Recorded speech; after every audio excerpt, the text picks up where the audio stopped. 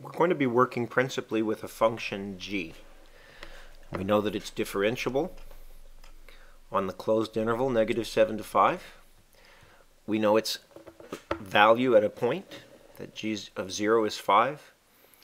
And then most importantly, we know that the graph shown is not g, but g prime of x. So addressing questions is clearly going to require a thorough understanding of the fundamental theorem of calculus and the definition and application of points of inflection, critical points, how do I identify them and how to classify them. So with that, let's begin. In part A, we're asked to find both g of 3 and g of negative 2. Well, the fundamental theorem tells us if we would like to know the value of a function at a particular point, it equals the value of the function at some known point, in this case g of 0, plus the integral from the known point to the point that you want of the derivative of the function. That's the fundamental theorem.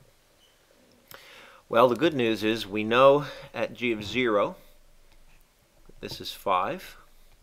Now what about this integral? Well, from 0 to 2, we're talking about the signed area under the g prime function. And this is one quarter of a circle. The circle that they give us has a radius of 2. So its area is pi times 2 squared, or 4 pi. One quarter of that has an area of pi. Now from 2 to 3, we're working with a triangle. 1 half the base times the height gives us the area, so that's 1 half 1 times 3. That's 3 halves. And so, G3 equals 5 plus 3 halves, which is 10 halves plus 3 halves, 13 halves plus pi. g of negative 2 works similarly.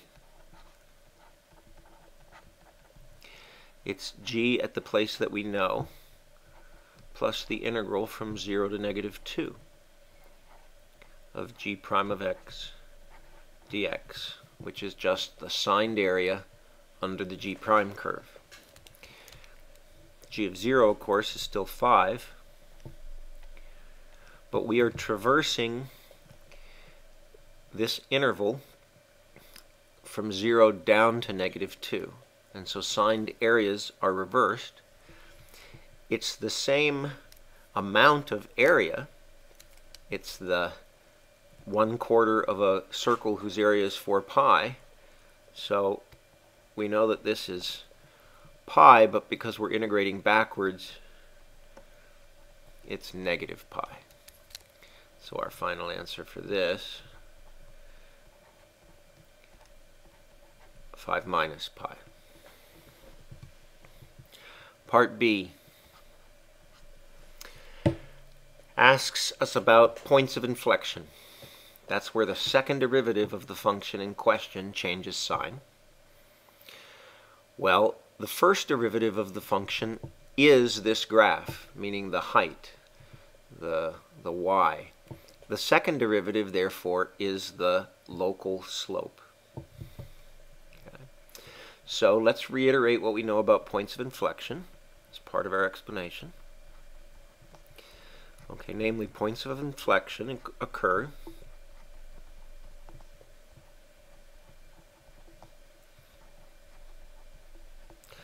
where uh, g double prime of x changes sign.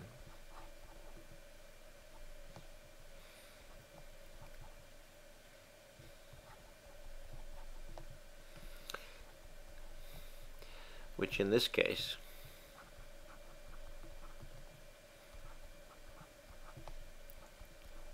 is a slope changing sign.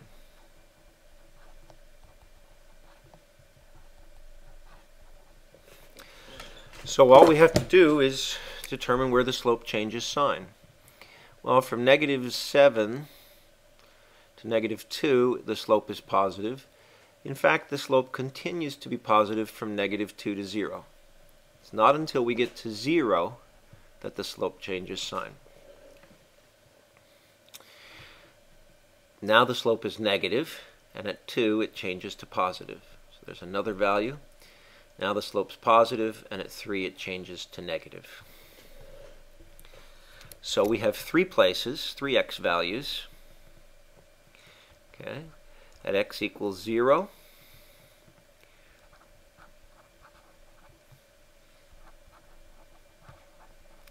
the slope changes sign. At x equals 2, the slope changes sign. And at x equals 3, the slope changes sign. Part C. We're given a new function based on the earlier function, h of x. It's defined to be g of x minus 1 half x squared. And now they ask us about finding critical points. So, critical points occur not at the endpoints, but in the open interval, wherever the function in question equals 0 or doesn't exist. So we'll reiterate that.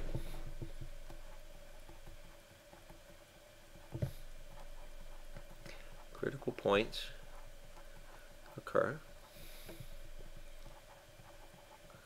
where h prime of x equals 0 or alternatively where it doesn't exist. So we need to calculate h prime of x. That's going to be g prime of x minus x. Okay, first of all, this function exists everywhere, this function h prime of x. Okay. It exists over the interval.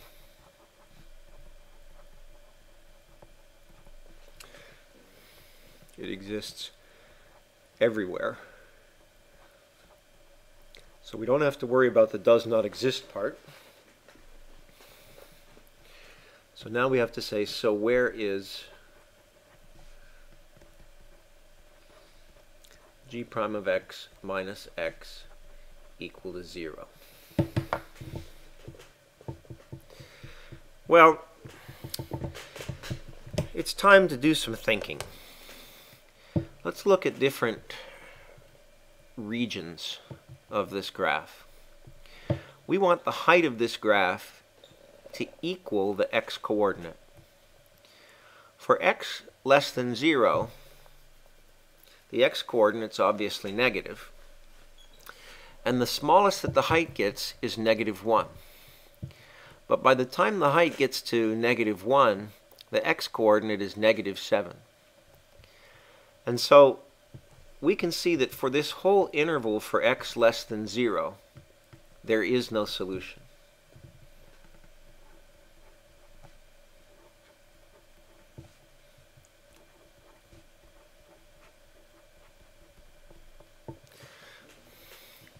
What about for x from 0 to 2, where we have this circular function?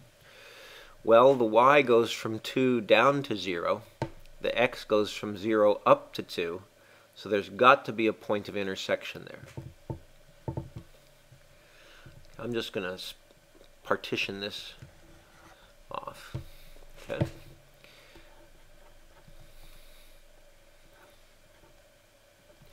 for x from 0 to 2.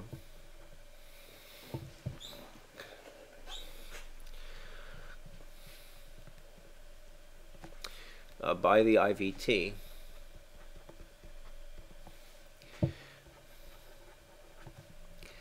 There is a point of intersection.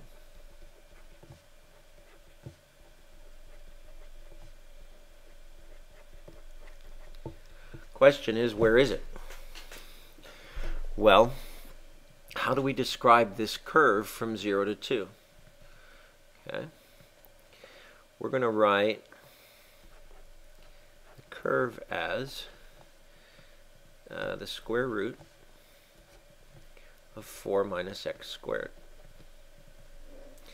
So we're really asking, therefore, we have square root of 4 minus x squared equals x. Or in other words, thus, where does 4 minus x squared equal x squared? Or, where does 4 equal 2x squared? That's at x equals the square root of 2. Okay. Again, we don't include the negative root because that's not in the region of interest. Okay. Finally,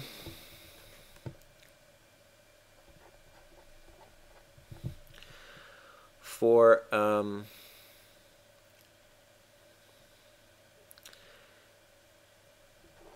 x in the interval 2 to 5, we have this linear graph.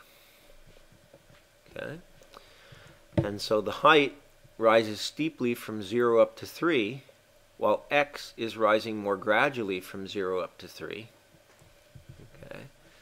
So we have actually only one place where h of x equals x at x equals 3. I'm sorry, where g prime of x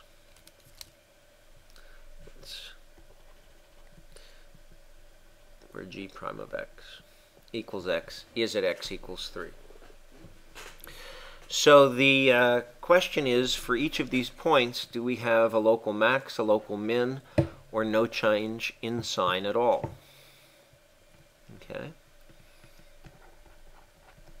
For x equals root 2, well again, the h prime of x is or rather uh, g prime of x is decreasing, x is increasing, so we have this uh, change of sign right at this root 2 point. We can see how g prime of x is decreasing.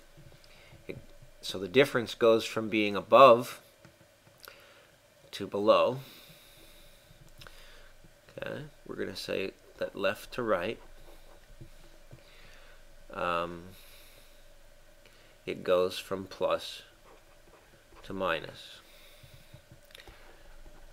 For x equals 3, left to right, okay, left to right plus to minus, therefore we've got a local max. For x equals 3 left to right, we see that um, this is the highest that g prime of x ever gets. And so, in fact, g prime of x minus x stays either negative or zero through the whole interval from 2, be, 2 and on. And so there is no change of sign. There's no change, and therefore it's neither. Now, this reasoning is a little bit um, abstract, and I have to admit that I didn't see a simpler way to do this until after the first time I'd seen the problem. But basically what we're saying is, when does this curve intersect the line y equals x? Because that's when the height equals the x coordinate. And so we could have done this more simply, simply by drawing this uh, line. Okay?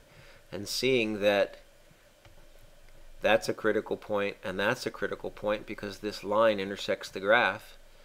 This line obviously is not going to intersect the graph uh, anywhere to the left and so that makes it a little bit easier to locate those critical points and to determine whether they're local maxes, local mins, or neither.